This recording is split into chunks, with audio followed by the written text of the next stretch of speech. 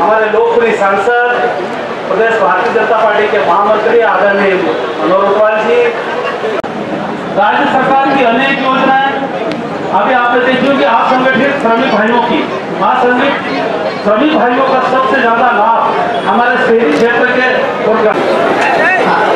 मंच के दाई और बाई और बहुत सारी कुर्सियाँ खाली है और पानी बंद हो चुका है। आप लोग अगर स्नान ग्रहण कर लेंगे तो बड़ी कृपा होगी। हम मंच के इस कार्यक्रम को शुरू करने जा रहे हैं। मैं सर्वप्रथम